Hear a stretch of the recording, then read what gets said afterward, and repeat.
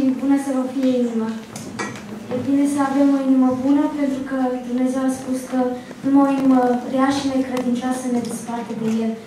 Și astăzi vreau să mă închin alături de voi, să-i aduc laude, pentru că doar El este vrednic să primească toată închinarea, slava și cinstea. Amin.